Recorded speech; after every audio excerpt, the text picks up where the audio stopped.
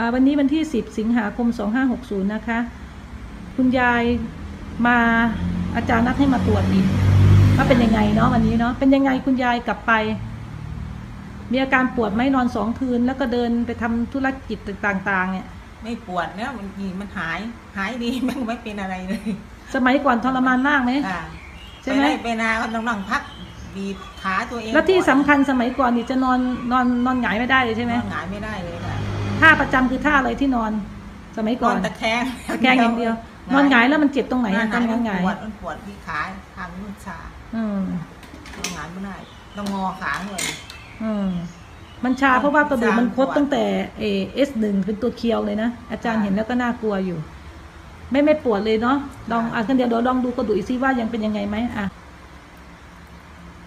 ตรงเป๊ะเลยค่ะท่านนะคะโอ้โอเค โอเค ตรงมากเลยค่ะ โอเมื่อเคก่อนเป็นตัวเคียวตรงเอ่อค่ะ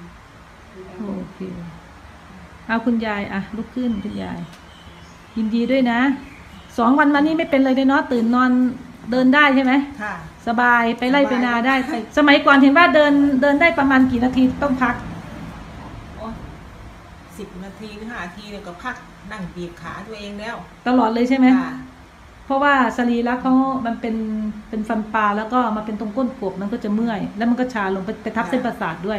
ปวดเนี่ย ตรงเอวนี่ลงไป น่าจะเป็นหมอนรองกระดูกเคลื่อนด้วยเนาะเออหมอนรองกระดูกเคลื่อนด้วย แล้วก็กระดูกคดไม่ได้คดธรรมดาด้วยค่ะ โอเคค่ะขอบคุณหมอมากมากเลยที่ช่วยช่วยชีวิตให้ เกิดใหม่จ้าเกิดใหม่เลยใช่ไหม จ้าทรมานใช่ไหม ปวดปวดแดง ทรมานเนาะ จ้ะ โอเค โอเคค่ะ คุณยาย ขอบคุณค่ะ ค่ะก็พอทุเราไปบ้าง หมอนรองกระดูกก็เคลื่อนเข้าที่ด้วยเนาะค่ะใช่เออแล้วก็กระดูกคด คดเยอะเลยเนาะคดลงมาหมดเลย ค่ะ ตั้งแต่อะไรนะ คดตั้งแต่ตั้งแต่